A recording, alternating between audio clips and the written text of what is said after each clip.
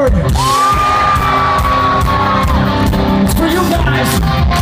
And you guys. We love you.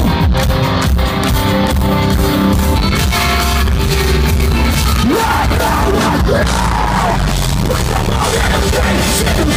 now. We're the most